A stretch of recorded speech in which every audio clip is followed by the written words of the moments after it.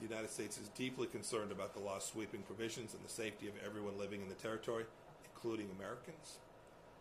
Article 38 of the new law also purports to apply to offenses committed outside of Hong Kong by non residents of Hong Kong, and this likely includes Americans.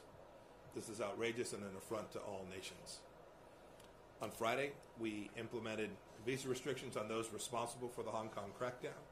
On Monday, we announced that we would end defense equipment and dual use technology exports of U.S. origin going to the territory.